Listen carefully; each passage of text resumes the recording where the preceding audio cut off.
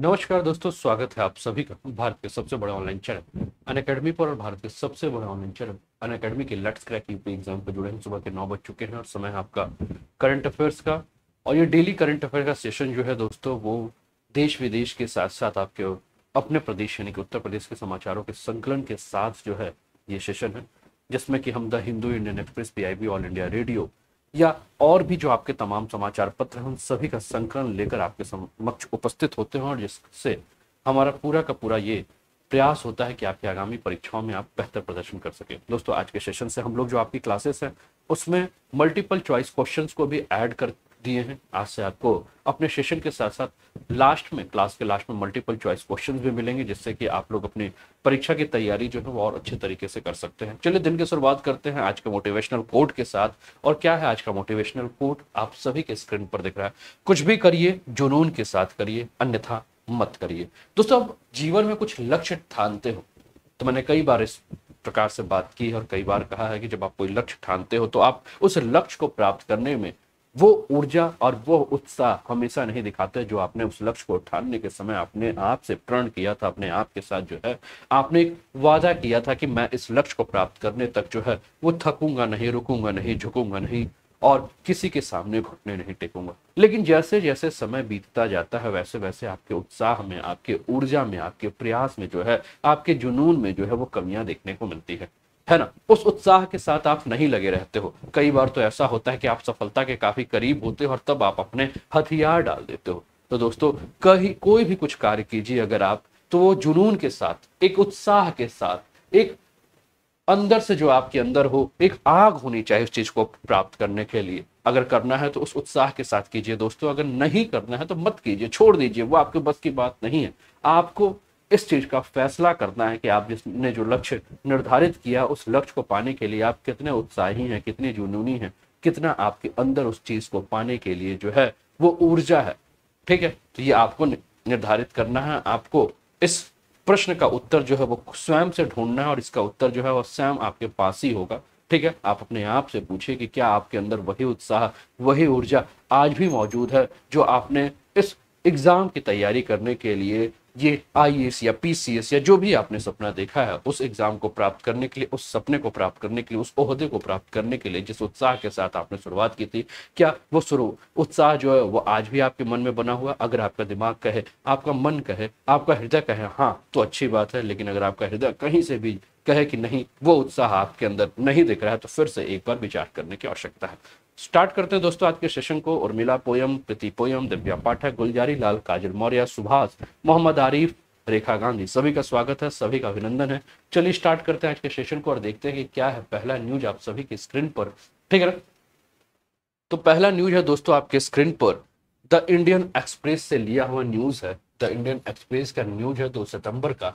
ठीक है ना? एक्सप्लेन कॉलम है। What to watch out for in renovated Jallianwala Bagh Jallianwala Bagh memorial what's in the revamped monument complex what has change from the original and what has been added ठीक है ना? तो जो जलिया वाला बाग है, उसके पुनर्निर्माण से, पुनर्निर्मित जो हो रहा है जलिया वाला बाग परिसर, उससे संबंधित ये न्यूज़ है और जलियावाला बाग की बात अगर हम करें तो हमें 13 अप्रैल 1919 के नरसंहार को किसी भी प्रकार से भूलना नहीं चाहिए। तो दोस्तों 28 अगस्त को प्रधानमंत्री नरेंद्र मोदी के द्वारा जलियावाला बाग स्मारक का पुनर्निर्मित परिसर का वीडियो कॉन्फ्रेंसिंग के माध्यम से उद्घाटन किया था। और जलियावाला बाग को अगर हम बात करें तो यह बाग जो है, एक स्मारक है, जिसमें पहली बार तत्कालीन राष्ट्रपति डॉक्टर राजेंद्र प्रसाद ने 1961 में 13 अप्रैल को इस बाग का उद्घाटन किया था। और यहाँ जो नरसंहार हुआ है, वो 13 अप्रैल 1919 को जो नरसंहार हुआ है, उसको याद करते हुए हम इस बाग को याद करते हैं, है ना? सभी को क्लियर है स्क्रीन क्लियर नज़र आ रहा है। ठीक है, आइए और भी जाने इसके बारे में। तो केंद्र सरकार के द्वारा दोस्तों, एक मई उन्नीस सौ इक्यानवे को प्रधानमंत्री की अध्यक्षता में जलियावाला बाग राष्ट्रीय स्मारक ट्रस्ट की स्थापना की गई थी। इस ट्रस्ट के सदस्य के रूप में अगर हम बात करें तो भारतीय राष्ट्रीय कांग्रेस के अध्यक्ष, पंजाब के मुख्यमंत्री, पंजाब के राज्यपाल, केंद्रीय संस्कृति मंत्री और लोकसभा के विपक्ष नेता जो है, वो शामिल होते हैं। ठीक है ना? तो ये याद रखिएगा कभी भी आपसे प्रश्न पूछा जा सकता है। कि जो जलियावाला बाग ट्रस्ट इसके सदस्य के रूप में कौन कौन है? तो भारतीय राष्ट्रीय कांग्रेस के अध्यक्ष, पंजाब के मुख्यमंत्री, पंजाब के राज्यपाल, केंद्रीय संस्कृति मंत्री और लोकसभा में विपक्ष का जो नेता है, वो क्या है? इस ट्रस्ट के सदस्य है। जलियावाला बाग के में क्या नवीकरण किया गया है? क्या बदलाव किया गया है? तो दोस्तों 13 अप्रैल 1919 के घटनाओं को दोहराने वाला ये 28 मिनट का एक साउंड एंड लाइट शो जो है, वो हर शाम को दिखाया जाएगा, जिससे जो भी टूरिस्ट वहाँ जा रहे हैं, उनको उस समय की जो पूरी घटनाएँ हैं, वो घटनाएँ जो है उनके आँखों के सामने जो है वो फिर से एक बार उसका एक खाका खींचा जाएगा, है ना? जिससे कि आगंतुकों को क्या होगा कि उस मुक्ति स्थल के निर्माण के बारे में पता चलेगा।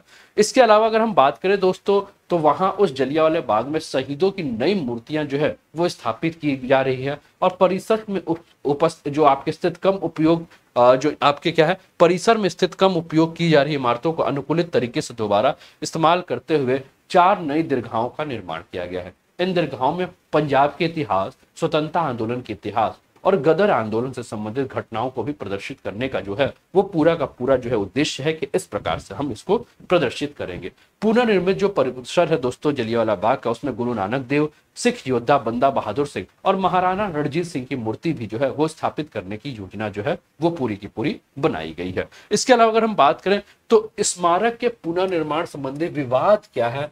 तो पिछले वर्ष के दौरान अगर हम बात करें तो जलियावाला बाग में कई बार जो है, वो मरम्मत और छोटे मोटे जो हैं, वो सुधार कार्य किए गए। लेकिन बाग के जो जाने वाले रास्ते हैं, वो रास्ता जो है, वो काफ़ी सकरा रास्ता है और सौ वर्षों से अगर देखा गया तो उस रास्ते पे किसी भी प्रकार का कोई भी छेड़छाड़ नहीं किया गया है। बाग में कई अन्य जो हैं, आपके चीज़ें जो है, वो बदल गई हैं, किंतु नानक शाही ईटों से बना एक संकीर्ण प्रवेश द्वार है, जिसे होकर डायर, जो जनरल डायर जिन्होंने यहाँ गोलीबारी कराई थी, ठीक है ना? तो जहाँ से घुसे थे, उस दिन की भयावता की याद दिलाता है। जुलाई 2020 में पुराने मार्ग पे हर निशान को मिटाते हुए इसे भित्ति चित्रों सहित गैलरी में परिवर्तित कर दिया गया था। ठीक है ना? आशुराना दीपू कुमारी, सोनी राठौर, सभी को क्लियर है? सभी को समझ में आ रहा है ना? तो फटाफट शेयर भी कर दीजिए अपने सारे फ्रेंड्स के साथ कि सभी के सभी जो है, वो क्लासेस को ज्वाइन करें, है ना? सभी फ्रेंड्स के साथ क्लासेस को शेयर कर दिए और लाइक शेयर भी करते रहिए। है ना? क्लियर है सभी को? स्क्रीन ठीक है ना? इसके अलावा दोस्तों जलिया वाले बाग के बारे में बात करें तो एक शहीदी कुआँ भी है जिसमें लोग जो हैं, उस समय जब गोलियों की तड़तड़ाहट हो रही थी, जब गोलियों की बौछार हो रही थी तो उससे बचने के लिए जो है, उस सही कुएँ के अंदर जो है, वो कूद गए थे। ठीक है ना? उसे कांच की चादर से ढक दिया गया है और इस चादर की वजह से इस भयावह मंजर का गवाह कुओं को देखा नहीं जा सकता। इसलिए सरकार इसके निर्माण की जो है, वो क्या कर रही है? निर्णय की आलोचना भी कर रही है कि उसको सही तरीके से जो है, वो बनाया जाए, जिससे कि लोगों को उस समय जो लोग जलिया वाले बाग में, जनरल डायर के द्वारा जो गोलियों की बौछार कराई गई थी और उससे बचने के लिए जो शहीदी कुएँ के अंदर कूद गए थे, उनके बारे में भी लोगों को सही से जानकारी मिले। जलियावाला हत्याकांड के बारे में अगर हम बात करें, दोस्तों तो 13 अप्रैल 1919 आपको दिन याद होगा और 13 अप्रैल 1919 का जो दिन था, वो बैसाखी का दिन था, जिसमें अमृतसर के स्थानीय निवासियों ने दो स्वतंत्रता सेनानी के याद में एक आपके कौन थे? एक आपके स्वतंत्रता सेनानी थे, सत्यपाल। और दूसरे कौन थे? सैफुद्दीन कीचली को कैद करने तथा रॉलेट एक्ट के विरोध में जो है, वहाँ चर्चा करने के लिए जो है, एक सभा का आयोजन किया गया था। और उस सभा के आयोजन में अगर हम बात करें तो रॉलेट एक्ट के तहत ब्रिटिश सरकार को बिना किसी सुनवाई के गिरफ़्तार करने की जो शक्ति दी गई थी, उस पर चर्चा किया जा रहा था। और जलिया वाला बाग चारों ओर से जो है, वो दीवारों से घिरा हुआ एक बाग है, जहाँ आने जाने का एक छोटा सा दरवाज़ा था। अंग्रेज़ों ने के आदेश के खिलाफ इस बाग में, अगर हम बात करें तो एकत्रित भीड़ में जो पुरुष थे, महिलाएँ थे या छोटे बच्चे थे, जो शामिल थे, उन पर brigadier general Reginald Edward Harry Dyer के द्वारा कृत्रिम भीड़ को सबक सिखाने, ये जो एकत्रित भीड़ थी उसको सबक सिखाने के उद्देश्य क्या हुआ था कि वहाँ गोलियाँ चलाई गई और गोलियाँ चलाने के साथ उन नब्बे सैनिकों को सभा के दौरान ही भीड़ पर गोली चलाने का आदेश दे दिया गया और भीड़ में कई लोगों ने जो अपने आप को बचाने के प्रयास किया और कुछ लोग जो है, वहाँ जो शहीदी कुआँ है, जो कुआँ है उसके अंदर कूद गया जिसको कि बाद में शहीदी कुआँ का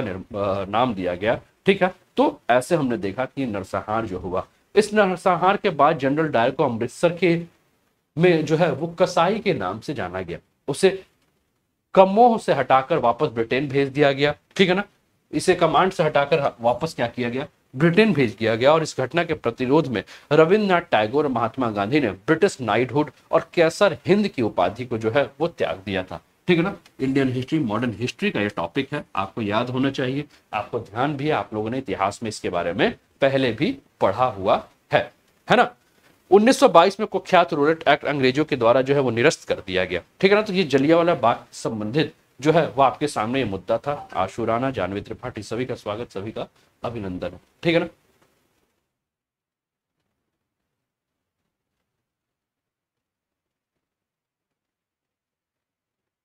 लाइक शेयर भी करते रहिए। और सेशन के लास्ट में जो है वो मल्टीपल चॉइस क्वेश्चन जो है वो भी है ना?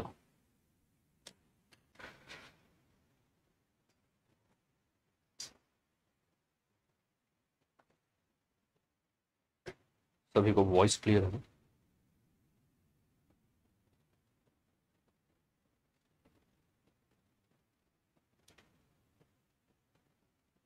एक मिनट का समय दीजिए।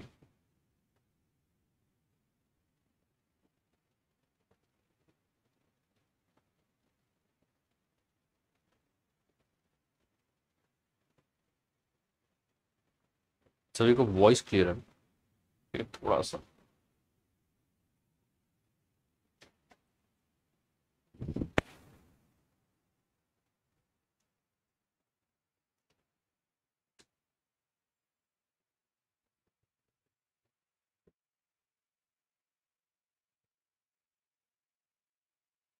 ठीक है? अगला न्यूज़ आपके स्क्रीन पर है।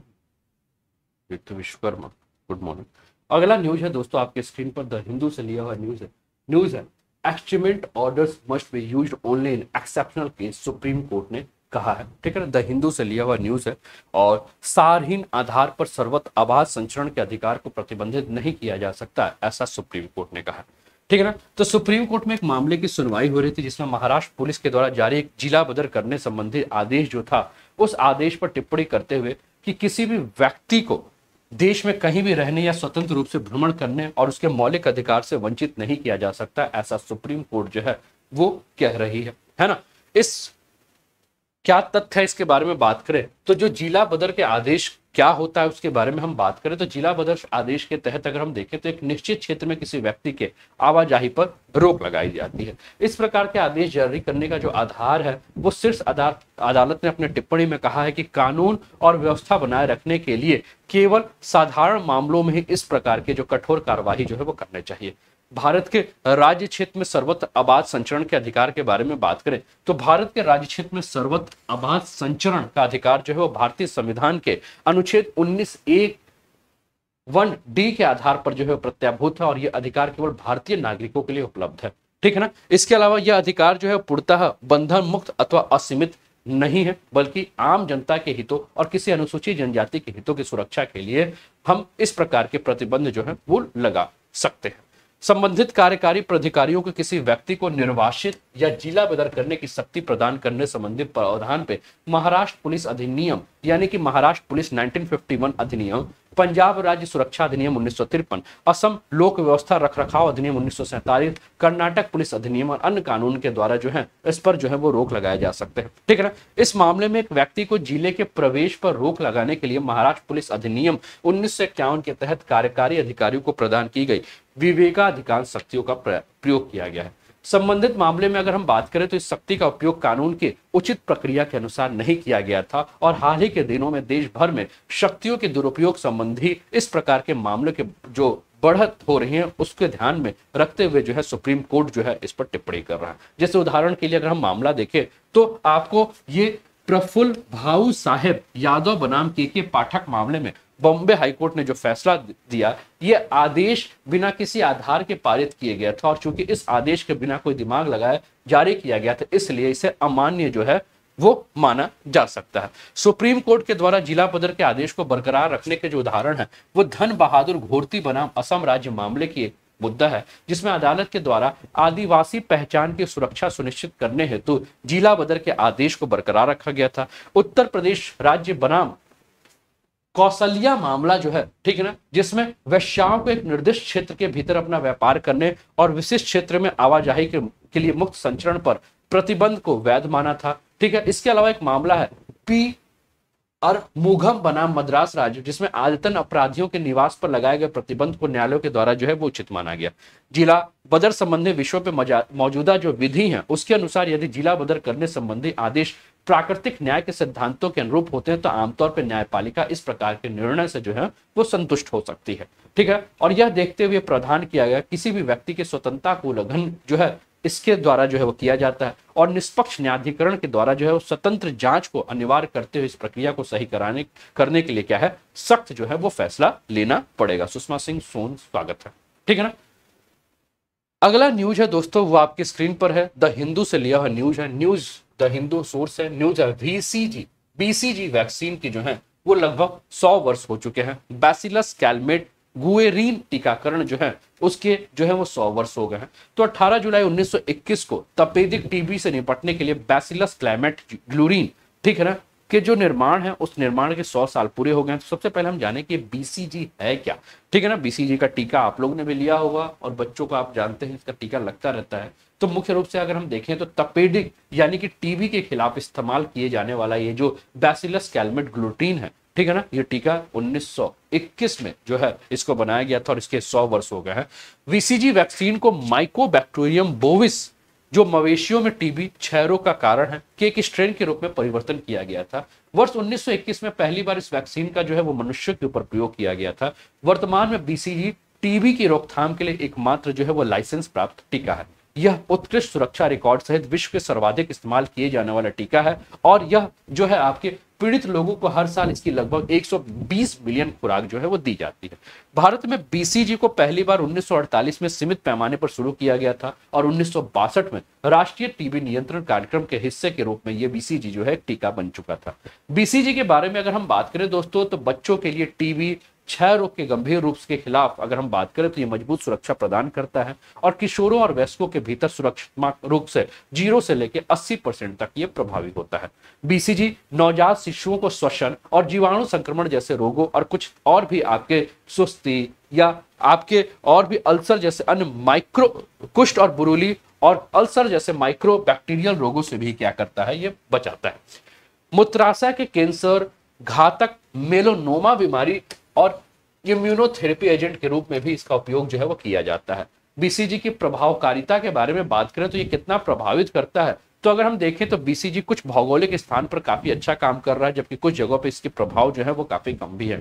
आमतौर पर भूमध्य रेखा के आसपास के जो देशों हैं, यानी कि भूमध्य रेखा से जैसे जैसे हम दूर बढ़ते जाएँगे बीसीजी वैक्सीन की जो प्रभाविकता है, वो भी क्या होती है, प्रभाव जो है इसके और भी बढ़ते रहे जैसे कि अगर भूमध्य सागर, भूमध्य रेखा से अगर हम ऊपर की तरफ़ चले, चाहे आपके जैसे नॉर्थ हेमिस्फीयर में, चाहे आपका यूके हो नॉर्वे हो स्वीडन हो डेनमार्क हो, इसमें अगर हम देखते हैं कि बीसीजी जो है, इसकी प्रभावकारिता जो है, वो काफ़ी ज़्यादा है।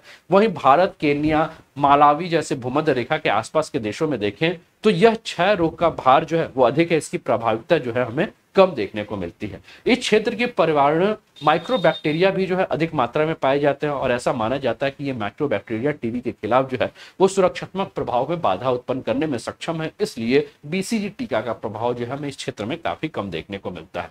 तबेदिक या टीबी है क्या? इसके बारे में बात करें। तो तबेडिक या टीबी जो क्षय रोग जो है, वो माइक्रोबैक्टीरियम ट्यूबोकुलोसिस नामक जीवाणु के कारण होने वाला एक संक्रमक रोग है ठीक है ना? इस चीज़ को आप याद रखिएगा। और आमतौर में फेफड़ों को ये क्या करता है? प्रभावित करता है। फेफड़ों के अंदर जो है ये आपका जो पिलमनरी टीबी यानी कि फुसफुसिया टीबी को क्या करता है? ये प्रभावित करता है। किंतु ये इस प्रकार से आ, के अलावा अगर हम बात करें तो मानव शरीर के अन्य अंगों को भी क्या करता है? ये प्रभावित करता है। यह बीमारी जो है आपका प्लिनरी टीबी यानी कि फुसफुसिया टीबी से पीड़ित व्यक्ति की जैसे किसी अन्य माध्यम से वायु में बैक्टीरिया पहुँचने में जो है ये फैलता है। विश्व में चेचक कुष्ठ रोग प्लेग, हैजा जैसी अन्य ऐतिहासिक रूप से भयानक बीमारियों को को काफ़ी हद तक जो है वो समाप्त या नियंत्रित कर दिया गया है। ठीक है, इसके विपरीत टीबी जो है दुनिया में एक प्रमुख सार्वजनिक स्वास्थ्य समस्या अभी भी बना हुआ है। विश्व स्वास्थ्य संगठन की ग्लोबल टीबी रिपोर्ट के अनुसार अगर हम बात करें तो 2019 में लगभग 10 मिलियन लोग जो है वो टीबी से ग्रसित हुए थे, जिनमें से चार मिलियन आपके जो रोगी थे। उनकी मौत हो गई थी। भारत में इन मामलों में अगर कुल संख्या की अगर हम बात करें तो विश्व के कुल मामलों का 27 परसेंट जो मामला है, जो कि भारत में हमें टीबी का देखने को मिलता है। Anurag Saini, good morning. ठीक है? अब भारत की हम बात किए तो भारत में हमने कहा कि लगभग 27 परसेंट जो हमें हर साल जो मामले देखने को मिलते हैं, वो टीबी के मामले देखने को मिलते हैं। तो वर्ष 2025 तक सार्वजनिक स्वास्थ्य समस्या के रूप में टीबी को खत्म करने के लिए जो है वो भारत प्रतिबद्ध है और इस लक्ष्य को प्राप्त करने के लिए हमें केवल एक निदान और दबाव की आवश्यकता जो है, बल्कि अधिक प्रभावी टीकों की आवश्यकता होगी। हाल फ़िलहाल में अगर हम बात करें तो कोविड नाइन्टीन महामारी से हमने काफ़ी सारा सजग सबक लिया है और इस आधार पर वैक्सीन के निर्माण करने, उसे विशेष रूप से वैक्सीन विकसित करने और इससे जो प्राप्त सफलता है, उसको दोहराने के लिए वैक्सीन इक्विटी सुनिश्चित करने वाले चुनौतियों का सामना करने के लिए हमें तैयार होने की आवश्यकता है। ठीक है ना? क्लियर है? सभी को? चलिए। तो दोस्तों, इस समय आप लोग जुड़े हो इंडिया के लार्जेस्ट लर्निंग प्लेटफॉर्म पर। इंडिया का ये जो लार्जेस्ट लर्निंग प्लेटफॉर्म है, अगर आप यहाँ प्लस का सब्सक्रिप्शन लेते हो तो आपको यहाँ अनलिमिटेड लाइव और रिकॉर्डेड कोर्सेज जो है, वो इंडिया के बेस्ट एजुकेटर के साथ देखने को मिलता है। इसके लिए करना क्या है दोस्तों, अपने मोबाइल में आप लोग अन अकेडमी का लर्निंग ऐप जो है, वो डाउनलोड कर लीजिए। और अन अकेडमी का लर्निंग ऐप डाउनलोड करने के बाद आपको क्या करना है कि आपका स्क्रीन जो है, ये ब्लू हो जाएगा। गेट स्टार्टेड पे जाइए, अपना मोबाइल नंबर रजिस्टर्ड कीजिए और उसके बाद आप अपने हिसाब से गोल जो है, वो चूज़ कर सकते हो। जैसे कि मान लीजिए आपका गोल यूपीएससी हो यूपीपीएससी हो, कोई भी स्टेट पीएससी हो, आप क्या कर सकते हैं, उसे आधार पर क्या कर सकते हैं, अपना गोल चूज़ कर सकते हैं। ठीक है? और गोल चूज़ करने के साथ क्या कर सकते हैं? आप जैसे अभी बात करें तो मान लीजिए आपका गोल जो है वो यूपीपीएससी आप यूपीपीएससी सर्च कर लीजिए और यूपीपीएससी सर्च करने के बाद आप मुझे सर्च कीजिए अनूप उपाध्याय नाम से और मुझे फॉलो कर लीजिए जिससे कि मेरी हर क्लासेस का नोटिफिकेशन आपको मिल सके। चाहे ग्यारह बजे जो प्लस की क्लास है, उसका नोटिफिकेशन हो या रात को नौ बजे हमने कल से हिस्ट्री का जो है, वो मिशन एचडीएम के नाम से जो है, एक सेशन स्टार्ट किया है। उस सेशन का भी आप लाभ उठा सकते हैं, ठीक है? तो इन सारे कोर्सेज का आप लाभ उठा सकते हैं। अभी ग्यारह बजे प्लस पे आपके इन्वायरमेंट की क्लास चल रही है, हिंदी और इंग्लिश मीडियम में। 10 सितंबर से जो है, वो एक क्रैश कोर्स स्टार्ट हो रहा है, जिसमें 50 घंटे के अंदर आपकी ज्योग्राफी जो है विथ मल्टीपल चॉइस क्वेश्चन में प्लस फाइव आपका कंप्लीट करा रहा हूँ, है ना? जिसमें हम टॉपिक पर चर्चा करेंगे और उस पर मल्टीपल चॉइस क्वेश्चन क्या बन सकते हैं, उन सभी पर हम जो है, वो चर्चा करेंगे तो उसको लिए भी आप लोग जुड़ जाइए। जिन्होंने प्लस का सब्सक्रिप्शन नहीं लिया प्लस का सब्सक्रिप्शन ले लीजिए। और जिनके प्लस के सब्सक्रिप्शन एक्सपायर हो चुके हैं, वो नए नंबर और नए ईमेल आईडी के माध्यम से प्लस का सब्सक्रिप्शन ले सकते हैं। और उनको जो कोड यूज़ करना है, वो कोड क्या है? अनोप टेन का कोड यूज़ करके आप क्या कर सकते हैं? प्लस का सब्सक्रिप्शन ले सकते हैं। अन अकेडमी के एडवांटेज के बारे में बात करें दोस्तों तो एनी टाइम एनी आप लाइव और रिकॉर्डेड सेशन आप अपने कन्वीनियंस के हिसाब से देख सकते हैं। आपको अपॉर्चुनिटी है इंडिया के बेस्ट एजुकेटर और इन्फ्लुएंसर से क्लास करने का। आप मल्टीपल क्रॉसपॉन्डेंस कोर्सेस को एसेस कर सकते हैं। आप का एकेडमिक कैलेंडर जो है वो बना दिया जाएगा, जिसमें कि आपको जो है क्लासेस के जो है नोट आपका पूरा एक शेड्यूल होगा, है ना? Workshop study session master classes है। अनलिमिटेड क्विजेस जो है आप कर सकते हैं। स्टडी मटेरियल पीडीएफ फॉर्मेट मिलेंगे। Multiple live doubt clearing session है। बैच के बारे में बात करें तो एक ऑप्शनल का बैच है, जो कि आप लोगों के लिए है। इसके अलावा हम देखें तो लक्ष्य यूपी पीएससी 2022 को ध्यान में रखते हुए एक सितंबर, यानी कल से जो है ये बैच स्टार्ट हो चुका है। इसका आप लाभ उठा सकते हैं। अभ्यास यूपीपीएससी प्रीलिम सीसेट के नाम से जो एक बैच स्टार्ट हुआ एक सितंबर से क्रैश कोर्स, इसका भी आप लाभ उठा सकते हैं। दोस्तों, अन अकेडमी जो है वो बहुत जल्दी अपने यूपीपीएससी और यूपी ट्रिपल एससी के सब्सक्रिप्शन का जो फ़ी है वो बढ़ाने वाला है। तो अगर आप लोगों ने सब्सक्रिप्शन नहीं लिया है या आप लोगों का सब्सक्रिप्शन एक्सपायर हो चुका है तो आप क्या कर सकते हैं कि आप फिर से सब्सक्रिप्शन ले सकते हैं, लेकिन फिर उसके लिए आपको क्या करना है? नया ईमेल आईडी और नया मोबाइल नंबर का आप यूज़ करेंगे और अनुप टेन के कोड के माध्यम से आप सब्सक्रिप्शन ले लीजिए, लेट मत कीजिए, है ना? नहीं तो फ़ी बढ़ने वाला है। यूपीपीएस अगर यूपीपीएससी और यूपी ट्रिपल एस का आप सब्सक्रिप्शन लेते हैं तो आप UPPSC upper lower PCS R O R O UPSI UP triple S C लेखपाल बी और ऑप्शनल कोर्स का आप लाभ उठा सकते हैं। फ़ी के बारे में बात करें दोस्तों तो UP P S C UP triple S subscription के सबसे पहले फ़ायदे तो आप लोगों को पता है कि इंडिया के बेस्ट एजुकेटर्स के द्वारा आपको क्लासेस मिलेंगी। डेली इंटरेक्टिव लाइव क्लासेस हैं live mock test and quizzes है स्ट्रक्चर्ड कोर्स एंड पीडीएफ है। इसके अलावा हम बात करें तो चौबीस महीने की जो फ़ी है वो आठ हज़ार चार सौ है। बारह महीने की फ़ी अभी सात हज़ार है, छह महीने की फ़ी पाँच हज़ार छह सौ है और तीन महीने की फ़ी तीन हज़ार पाँच सौ है। लेकिन जैसे ही आप कोड यूज़ करोगे, क्या? अनोप टेन। वैसे ही आपको इस कोड यूज़ करने के बाद आपके फ़ी में आपको टेन परसेंट का ऑफ़ मिल जाएगा। चौबीस महीने की फ़ी सात हज़ार पाँच सौ साठ हो जाएगी। बारह महीने की फ़ी छह हज़ार तीन सौ हो जाएगा। छह महीने की फ़ी पाँच हज़ार चालीस और तीन महीने की फ़ी तीन हज़ार एक सौ पचास हो जाएगा। तो फटाफट आप लोग क्या कीजिए, इस कोड का यूज़ करके आप सब्सक्रिप्शन ले सकते हैं। इसके अलावा सुपर कॉम्बो सब्सक्रिप्शन ऑफ़र है यूपी बिहार के स्टूडेंट्स के डिमांड पर, जिसमें यूपी और बिहार का आप कॉम्बो सब्सक्रिप्शन ले सकते हैं। ठीक है, जिसमें यूपी बिहार के टॉप एजुकेटर्स के द्वारा आपको live classes test series and quizzes है स्ट्रक्चर्ड कोर्सेस है अनलिमिटेड एसेस करने का मौका मिलेगा। जिसमें छह महीने की फ़ी की बात करें तो छह महीने का फ़ी जो है वो सात हज़ार नौ सौ साठ है। बारह महीने की फ़ी जो है वो दस हज़ार छह सौ बीस है और 24 महीने की फ़ी जो है वो चौदह हज़ार छह सौ बीस है। लेकिन इन सभी पर आपको 10 परसेंट का ऑफ़ मिल सकता है अगर आप कोड यूज़ कर रहे हो, अनोप टेन ठीक है तो यहाँ भी आपको 10 परसेंट का ऑफ़ मिल सकता है तो आप लोग इसका लाभ उठा सकते हो, है ना? इसके अलावा बक्स बाउंड्री अगर आपको लगता है आपके किसी भी एजुकेटर्स के द्वारा आपके क्लास में कोई भी इन अप्रोप्रिएट कंटेंट या वीडियो आपको दिखाया जाता है और आपको लगता है कि उस पर आपको क्लेम करना है तो आप क्लेम कर सकते हो, और अगर आपका क्लेम सही हो तो अन आपको प्राइज भी देगा। Join free special session Unacademy जिसमें आप स्पेशल सेशन जो फ्री क्लासेस फॉर ऑल है, वो आप अन अकेडमी का ऐप डाउनलोड करके जो है, आप इस सेशन का लाइव लाभ उठा सकते हैं। जिसमें इंटरेक्टिव लाइव क्लासेस हैं पोल्स फॉर द लर्नर्स हैं रेज योर हैंड करके आप क्या कर सकते हो, आप अपने डाउट्स को पूछ सकते हो। नेवर मिस क्लास अगर आप क्लास को फॉलो कर लेते हो तो क्लासेस के नोटिफिकेशन आपको टाइम पर मिल जाएँगे, जिससे कि आप क्लासेस मिस नहीं कर पाओगे। लेक्चर नोट्स जो है पीडीएफ में आप डाउनलोड सकते, कर सकते हो एनी टाइम एनी आप क्लासेस देख सकते हो। ठीक है ना? अंजलि पांडे गुड मॉर्निंग तो सभी को स्क्रीन क्लियर नज़र आ रहा है ना? चलिए, अगले न्यूज़ पर चलते हैं। अगला न्यूज़ आपके स्क्रीन पर है। द हिंदू से लिया हुआ न्यूज़ है। न्यूज़ है India support Palestine peace process ठीक है ना? और ये आपको भारत के जो यूएन में प्रतिनिधि हैं, श्रृंगला साहब, वो आपको नज़र आ रहे हैं, है ना? तो दोस्तों, भारत द्वारा फिलिस्तीन शांति प्रक्रिया का जो है, वो समर्थन किया गया है। इस पर यह न्यूज़ है। भारत ने हाल ही में आयोजित संयुक्त राष्ट्र सुरक्षा परिषद की जो बैठक हुई थी, इसमें इसराइल और फिलिस्तीन की ओर से ठीक है ना? शांति प्रक्रिया को फिर से शुरू करने को अपना समर्थन दिया भारत ने सुरक्षित मान्यता प्राप्त और पारस्परिक रूप से सहमत सीमाओं के भीतर शांति और सुरक्षा के साथ इसराइल के साथ रहने हेतु संप्रभु, स्वतंत्र और स्वयं समर्थ फिलिस्तीन राष्ट्र की स्थापना के लिए अपनी प्रतिबद्धता को दोहराया है। इसके अलावा अगर हम बात करें तो संयुक्त राष्ट्र सुरक्षा परिषद की इस बैठक में अफ़गानिस्तान का मुद्दा भी उठाया गया। बैठक में तालिबान से नागरिकों की सुरक्षा तथा मानवीय पहुँच की की सुरक्षा गारंटी संबंधी मांग करते हुए एक मसौदा प्रस्ताव भी जो है वो पारित किया जाना था। ठीक है, इस प्रस्ताव का उपयोग काबुल को अभी तक फंसे हुए, अभी तक जो भी फंसे हुए विदेशी नागरिक हैं, उनको बाहर निकालने के लिए समाधान के रूप में करना था। भारत की संयुक्त राष्ट्र सुरक्षा परिषद की अध्यक्षता इस महीने समाप्त होने वाली है। आपको पता है कि भारत जो है संयुक्त राष्ट्र सुरक्षा परिषद के इस समय अध्यक्ष के रूप में काम कर रहा है और सदस्य देशों के नामों से अंग्रेज़ी वर्णाक्रम के अनुसार प्रत्येक सदस्य राष्ट्र को एक माह की अवधि के लिए क्या है सुरक्षा परिषद की अध्यक्षता दी जाती है। उस आधार पर जो है वो भारत क्या कर रहा है, इसका इस समय अध्यक्ष बना हुआ है। तो इन सारे मुद्दों को लेकर आया है।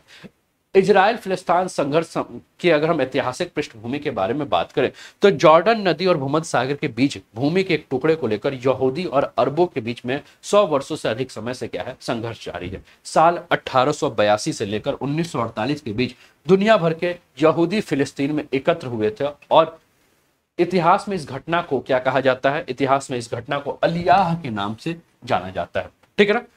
फिर वर्ष 1917 में प्रथम विश्व के बाद युद्ध के बाद तुर्क साम्राज्य का जो है वो पतन हो गया था और फिलिस्तीन पर ब्रिटेन ने नियंत्रण कर लिया था। इस क्षेत्र में अल्पसंख्यक यहूदी और बहुसंख्यक अरब जो है वो निवास करते हैं। ठीक है? इस क्षेत्र पर ब्रिटेन का कब्जा होने के बाद फिलिस्तीन में यहूदियों को बसाने के उद्देश्य से बालफोर घोषणा जो है वो जारी की गई थी और उस समय फिलिस्तीन में बहुसंख्यक आबादी में अरबों की जो संख्या थी। यहूदियों पे इन बालफेर घोषणा का समर्थन किया, जबकि फिलिस्तीनियों ने इसे मानने से अस्वीकार कर दिया था। कुछ समय पहले यूरोप में जो है आपको ये लगभग अगर हम बात करें दोस्तों तो होला कास्ट में लगभग छह मिलियन यहूदी जो है वो मारे जा चुके थे, ठीक है? और इस कारण से एक पृथक यहूदी राज्य की मांग जो है वो फिर से काफ़ी तेज़ी से आगे बढ़ने लगी थी।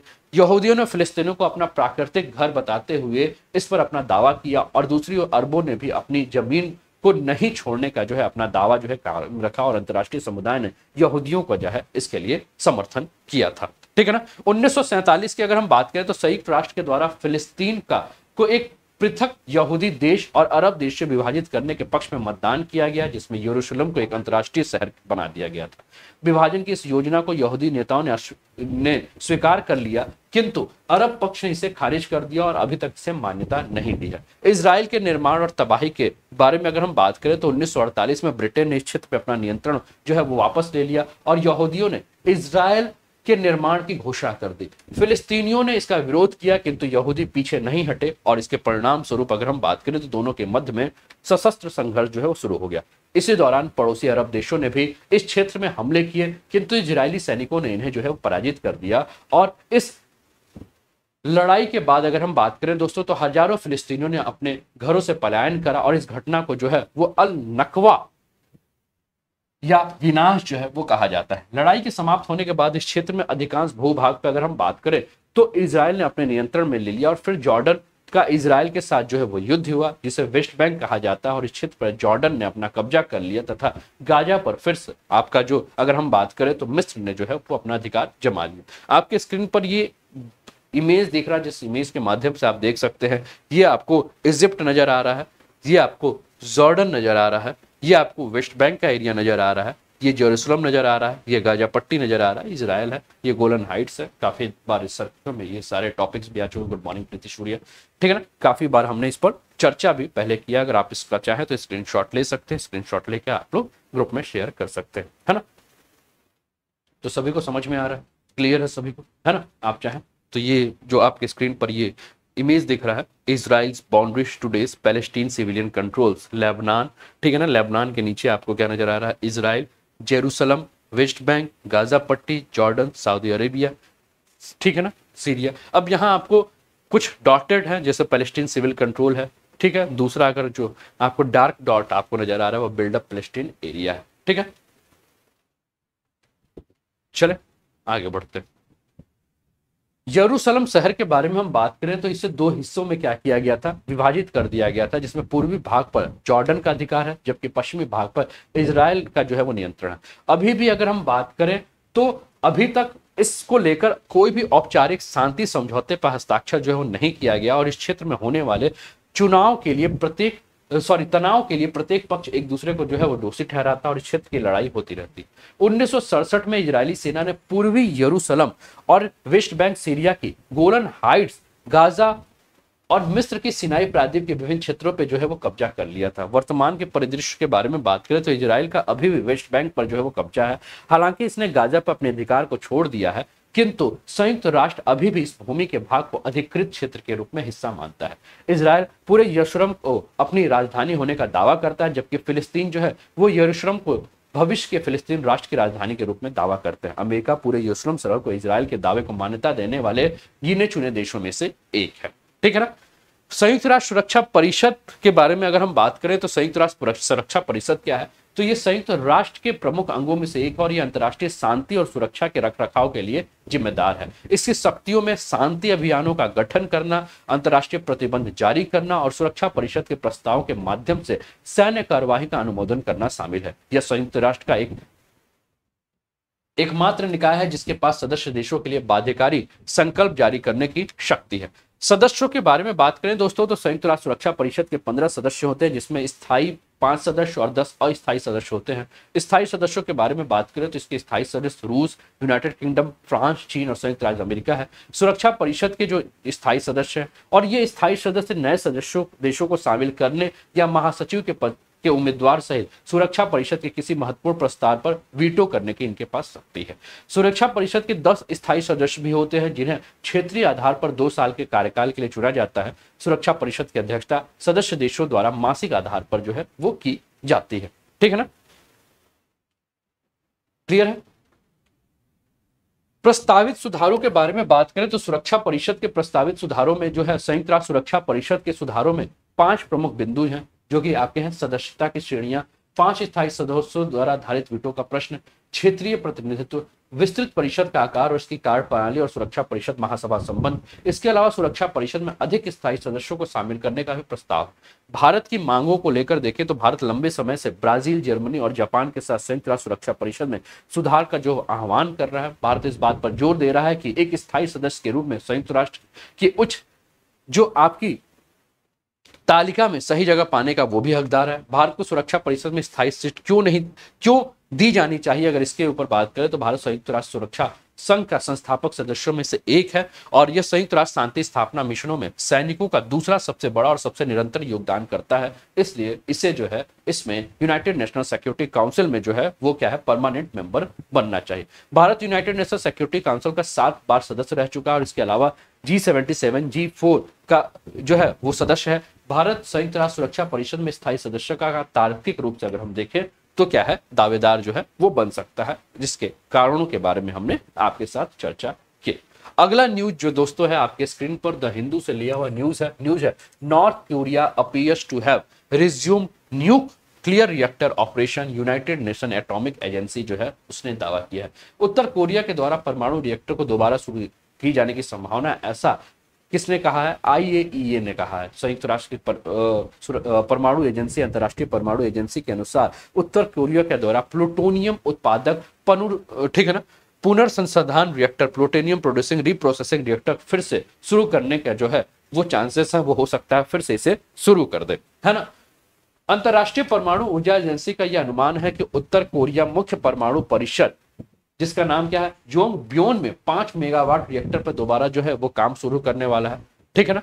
और यह जो है उत्तर कोरिया नेता, तत्कालीन अमेरिकी राष्ट्रपति डोनाल्ड ट्रंप के साथ जो आयोजित दूसरे शिखर सम्मेलन में प्रतिबंधों को हटाने के बदले जो है वो आपका योग व्योन परिसर के एक भाग को नष्ट करने का जो प्रस्ताव दिया गया था किंतु उसके बाद दोनों देशों के मध्य कोई भी वार्ता जो है वो नहीं हुई वार्ता वहीं रुक गई। अपने परमाणु हथियारों और बैलिस्टिक मिसाइल कार्यक्रम के कारण उत्तर कोरिया पर अंतर्राष्ट्रीय प्रतिबंध लागू है। ठीक है ना? प्राप्त जानकारी के अनुसार अगर हम बात करें तो उत्तर कोरिया के प्योंगयांग रिएक्टर में पहले हटाए जा चुके रिएक्टर में प्रयुक्त ईंधन से प्लूटोनियम को जो है वो अलग करने के लिए निकट स्थित रेडियो केमिकल प्रयोगशाला का भी उपयोग किया जा रहा है, जिससे कि योग्योन रिएक्टर पुनः जो है वो चालू करने के संकेत मिल रहे हैं। इसके अलावा कोरियाई प्रायद्वीप में सुरक्षा की स्थिति और और खराब ना हो और ये सुनिश्चित करने के लिए संबंधित हितधारकों के द्वारा के मध्य दोबारा वार्ता शुरू करने की आवश्यकताओं को भी रेखांकित जो है वो किया गया है। अंतर्राष्ट्रीय परमाणु ऊर्जा एजेंसी क्या है? इसके बारे में हम बात करें तो राष्ट्रीय परमाणु ऊर्जा एजेंसी की स्थापना वर्ष उन्नीस में संयुक्त राष्ट्र संघ के भीतर वैश्विक शांति के लिए परमाणु संगठन के रूप में की गई थी और ये एक अंतर्राष्ट्रीय स्वायत्त संगठन है।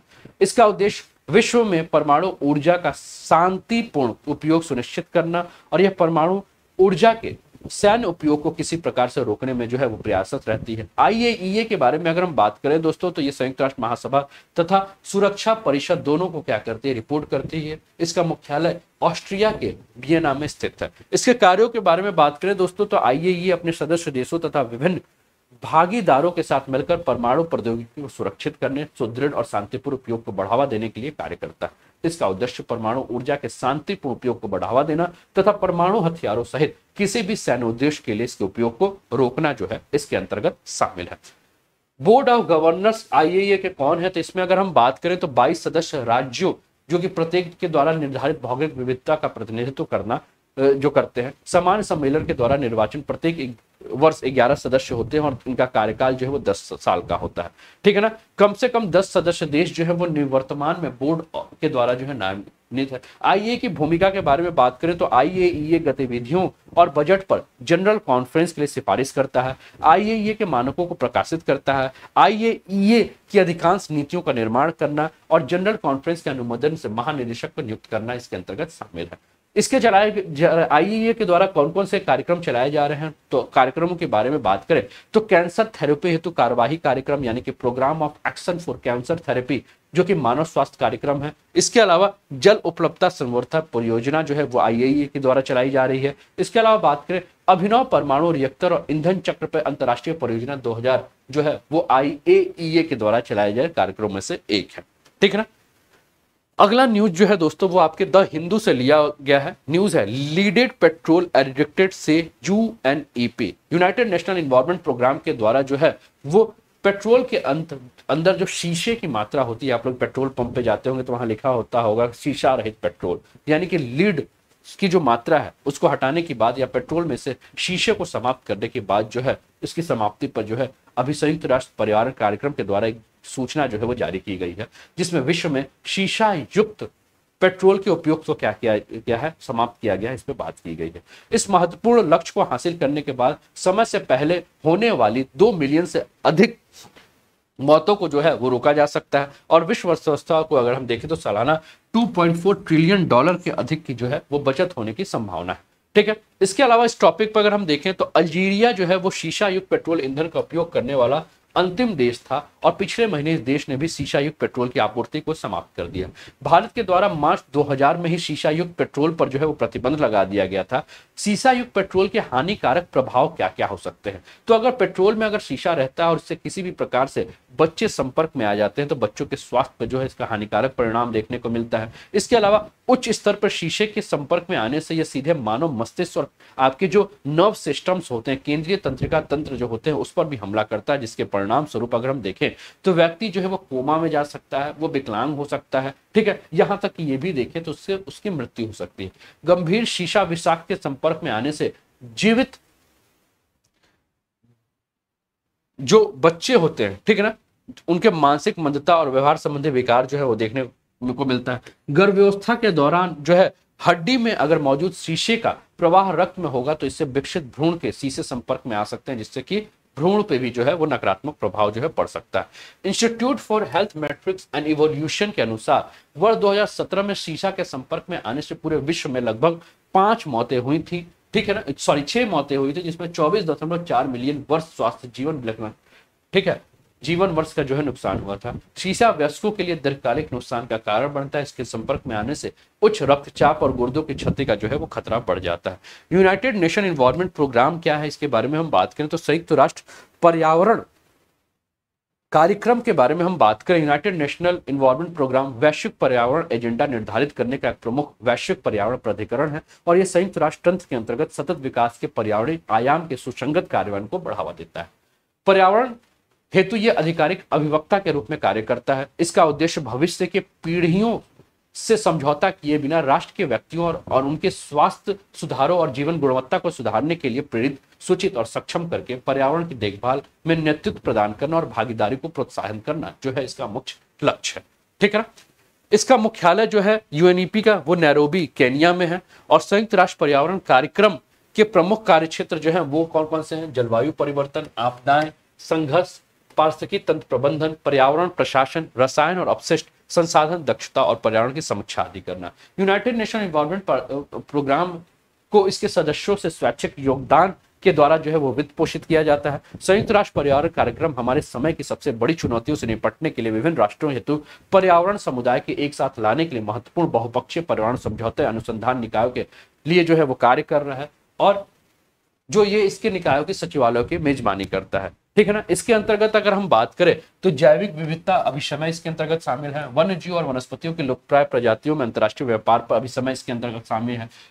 पारा यानी कि मरकरी पर मिति माता, मिनी माता जो अभिशमय है, इसमें शामिल है। Basel, Rotterdam, Stockholm convention, ozone परत से संरक्षण के लिए बिना समय अभिसमय अभिसमय और मॉन्ट्रियल प्रोटोकॉल इसमें शामिल है। इसके अलावा प्रवासी प्रजातियों पर अभिसमय शामिल है। कार्पेथियन कन्वेंशन है, बमाकू कन्वेंशन है और तेहरीन अभिसमय जो है, वो इसके अंतर्गत शामिल है। ठीक है ना? तो चलिए, अब हम आ जाते हैं आज के प्रश्नों पर। क्या है आज के प्रश्न? आपकी स्क्रीन पर दिख रहे होंगे। मल्टीपल चॉइस क्वेश्चन कैसा लगा? अभी आज का जो कलेक्शन करंट अफेयर्स का था, वो भी बताइए। और चलिए, आज का पहला प्रश्न आपके स्क्रीन पर है।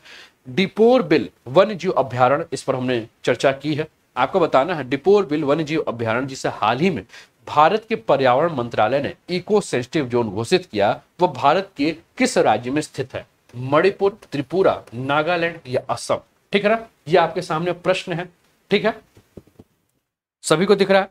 दीपोर बिल वन्यजीव अभ्यारण जिसे हाल ही में भारत के पर्यावरण मंत्रालय ने इको सेंसिटिव जोन घोषित किया, वो भारत के किस राज्य में है? मणिपुर, त्रिपुरा, नागालैंड, असम। ठीक है? तो दोस्तों, आसाम जो है वो राइट आंसर है और आसाम के दीपोर बिल वन्यजीव अभ्यारण को हाल ही में भारत सरकार के पर्यावरण मंत्रालय ने इको सेंसिटिव जोन का दर्जा देने वाला नोटिफिकेशन जारी किया है। दीपोर बिल आसाम राज्य का एकमात्र रामसर स्थल और महत्वपूर्ण पक्षी क्षेत्र है। आई, ठीक है ना? यह एक आध्भूमि स्थल के रूप में बड़े स्तर पर वन्य जीवों को सुरक्षा देता है। यह आसाम का सबसे बड़ा अगर हम बात करें तो फ्रेश वाटर लेक है, चूँकि यह वन्य जीव अभ्यारण तेज गति के विकास कर, रहे गुवाहाटी के दक्षिण पश्चिम हिस्से में स्थित है, इसलिए वन्य जीवों की सुरक्षा के लिहाज से ये इको सेंसिटिव जोन टैग का देना जो है इसके लिए ज़रूरी था। ठीक है ना? चलिए। अगला प्रश्न आपकी स्क्रीन पर है।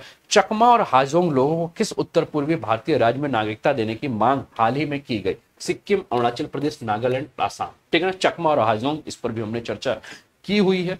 है ना? इस पर हम लोग ने चर्चा की हुई है। दूसरा प्रश्न है आपके स्क्रीन पर, चकमा और हाजोंग। तो दोस्तों, जिन्होंने कहा बी, यानी कि आपका अरुणाचल प्रदेश, वो सभी का उत्तर जो है, वो सब सही है। और हाल ही में अगर हम बात करें तो Chakma National Council of India ने केंद्र सरकार को सुप्रीम कोर्ट के दो आदेशों का अनुपालन करते हुए चकमा, हाजोंग, लोगों को अरुणाचल प्रदेश में नागरिकता देने की मांग की गई है। छह दशक से अधिक समय में अरुणाचल प्रदेश में रहने वाले चकमा और हाजोंग लोगों की संख्या राज्य में लगभग साठ हज़ार से अधिक है। पूर्वी पाकिस्तान से विस्थापित हुए बौद्ध चकमा और हिंदू हाजोंग को भारत सरकार ने जो है अरुणाचल प्रदेश में 1964 से लेकर 69 के मध्य जो है वो बसाया था और वही भारत के सर्वोच्च न्यायालय ने वर्ष उन्नीस सौ छियानबे और 2015 में दिए गए अपने आदेशों में कहा था कि चकमा और हाजोंग को अरुणाचल प्रदेश के निवासी के रूप में भारतीय नागरिकता दिया जाया? ठीक है अगला प्रश्न आपके स्क्रीन पर है। गोल गुंबज के संबंध में कौन सा कथन असत्य है? इसे दक्षिण के ताज के रूप में देखा जाता है यह कर्नाटक के विजयपुरा स्थित मोहम्मद आदिल शाह का मकबरा है? इसके हेमी स्फेरिकल डोम दुनिया के सबसे बड़े स्वतंत्र रूप से खड़ी संरचनाओं में से एक है। ठीक है? और चौथा आपका ऑप्शन है, गोल गुंबद भारत और साथ ही विश्व का सबसे बड़ा गुंबद है। ठीक है? तो गोल गुंबज के बारे में हम बात कर रहे हैं। आपको बताना है कि इसमें राइट आंसर क्या होगा। ठीक है ना? तो दोस्तों, जिन्होंने कहा, गोल गुंबद भारत और साथ ही विश्व का सबसे बड़ा गुंबद है, वो सभी के उत्तर जो है वो सही है है ना? तो गोल गुंबज के बारे में हम बात करें तो हाल ही में बारिश के चलते गोल गुंबद का एक हिस्सा जो है वो क्षतिग्रस्त हो गया और जिसके चलते जो है ये सुर्खियों में बन गया। जिसके मरम्मत के लिए भारत के पुरातत्व संरक्षण विभाग ने जो है ज़िम्मेदारी ली और इसके बाद ये सुर्खियों में आ गया था। गोल गुंबद भारत का सबसे बड़ा और विश्व का दूसरा सबसे बड़ा गुंबद है। इस विशाल गुंबद का व्यास लगभग चौवालीस मीटर और ऊंचाई लगभग इक्यावन मीटर है। इसके निर्माण में तीस वर्ष लगे थे। यह एक मकबरे का गुंबद है, जिसके मुख्य हॉल के भीतर चारों ओर सीढ़ियों से घिरा हुआ है और यह चौकोर चबूतरा बना हुआ है। इस चबूतरे के मध्य में कब्र का पत्थर है, जिसके नीचे बीजापुर के सुल्तान मोहम्मद आदिल साल की कब्र है। ठीक है? मकबरे के गुंबद की आंतरिक परिधि पर एक गोलाकार गलियारा जो है, वो बना हुआ है। इस गुंबद को अंग्रेज़ों ने विस्परिंग गैलरी नाम दिया था, क्योंकि इस गलियारे में एक तरफ़ फुसफुसाने पर बोला गया शब्द जो है वो दूसरी तरफ़ स्पष्ट सुनाई देता है। इस इमारत की सबसे बड़ी बालकनी को जो है वो चहमसा कहा जाता है। गहरे, भूरे, विशाल पत्थर से बना मकबरा दक्षिण भारतीय मुगल वास्तुकला का अद्भुत नमूना है, जो द्रविड़ वस्तु इसे घोल मिलकर बना है और यह अष्टकोणीय इमारत नफीस, नक्काशी, फूल, बूटे और आलो मेहराबी से जो है आपका सजा हुआ है। अगला प्रश्न है, निम्नलिखित कथनों पर विचार कीजिए। ईरान, तुर्कमेनिस्तान, अफ़गानिस्तान की सीमा पर खोरासन नाम के इलाके में 2012 में लड़ाकों ने एक गुट बनाया था जिसे आईएसआईएस खोरासन कहते हैं। आईएसआईएस खोरासन गुट अलकायदा से गठजोड़ है और यह इस्लामिक अमीरात की स्थापना पर बल देता है। आपको बताना इसमें से कौन सा कथन सत्य है? ए, बी, सी या डी? ठीक है ना? I S I S Khorasan से संबंधित ये प्रश्न आपके स्क्रीन पर है। ठीक है? तो दोस्तों, काबुल एयरपोर्ट पे जो है वो पिछले गुरुवार को आपने देखा था कि एक आत्मघाती हमला हुआ था और उसमें मुख्य संदिग्ध जो है अफ़गानिस्तान के इस्लामिक स्टेट से संबंधित आतंकवादी संगठन को माना गया था और जिसपे अमेरिका ने जो है वो बाद में प्रहार करके इसके जो मुखिया है मतलब मेन जो साजिश करता है, उसको मार दिया था। तो इस्लामिक स्टेट खुरासन के नाम से इन्हें जाना जाता है और ये I S I S Khorasan जुड़े मामलों की तीव्रता से कई लोग चिंतित हैं। आईएसआईएस खुरासन की स्थापना छह साल पहले हुई थी। सत्ता और प्रभुत्व की लड़ाई में तालिबान का एक गुट अपना दुश्मन मानता है। ईरान, तुर्कमेनिस्तान अफ़गानिस्तान की सीमा पर खुरासन नाम के इलाके में 2012 में लड़ाकों ने गुट बनाया था। 2014 में इस गुट के प्रति झुकाव हुआ और वो इस्लामिक स्टेट की मुहिम में शामिल हो गया। आईएसआईएस के करीब 20 मॉडल है, जिसमें सबसे खतरनाक आईएसआईएस खुरासन, यानी कि खुरासन को, दक्षिण एशिया के खुरासन का नेटवर्क सबसे मज़बूत माना जाता है और आईएसएस खुरासन का मॉडल इस वक्त सबसे ज़्यादा सक्रिय है। तो दोस्तों, ये रहा आपका करंट अफेयर्स का class with multiple choice question कैसा लगा आज का क्लास ज़रूर बताइए। और अभी तक आपने अन अकेडमी के टेलीग्राम चैनल यानी कि लेट्स क्रैक यूपी एग्ज़ाम को ज्वाइन नहीं किया तो ज्वाइन कर लीजिए, जहाँ क्लासेस की नोटिफिकेशन और पीडीएफ आपको मिले। ठीक है? वीडियो अगर पसंद आई हो, क्लास पसंद आई हो तो लाइक कर दीजिए शेयर कर दीजिए अपने सारे फ्रेंड्स के साथ और सब्सक्राइब करके बेल आइकन दबा दीजिए कि यहाँ आने वाले हर क्लासेस के नोटिफिकेशन आपको टाइम पर मिलते रहे। अब अगली मुलाकात अभी हम ग्यारह बजे जो है वो प्लस की क्लास में होगी, जिसमें हम लोग फ़ंक्शन ऑफ़ इकोसिस्टम पढ़ेंगे, हिंदी और इंग्लिश दोनों में। इसके बाद शाम को चार बजे हमारा मुलाकात होगी जोग्राफी के मल्टीपल चॉइस क्वेश्चन में। फिर रात को नौ बजे हमारी मुलाकात होगी स्पेशल क्लास में, जिसमें हम लोग मिशन एच पर काम कर रहे हैं, जिसमें हिस्ट्री के मल्टीपल चॉइस क्वेश्चन की श्रृंखला लेकर हम आए। तो चलिए फिर से अगली क्लास में मिलते हैं। तब तक अपना ध्यान रखिए, स्वस्थ रहिए, मस्त रहिए, तंदुरुस्त रहिए, हँसते खेलते मुस्कुराते हुए जीवन का आनंद लीजिए। चौबीस अक्टूबर, दिन तारीख। याद है ना तो लगे रहिए, उत्साह में किसी प्रकार से कमी मत आने दीजिए और अपने लक्ष्य को अपने आँखों के सामने से उछल मत होने दीजिए, क्योंकि लक्ष्य जो है, वो ही आपके अंदर जो है, वो उत्साह बना सकता है, आपके लिए प्रेरणा स्रोत बन सकता है और आपको इस हिसाब से बना सकता है कि आप जो है, ऊर्जा के साथ दिन प्रतिदिन अपने तैयारी को और भी ज़्यादा मज़बूत कर सकते हैं। जय जय भारत।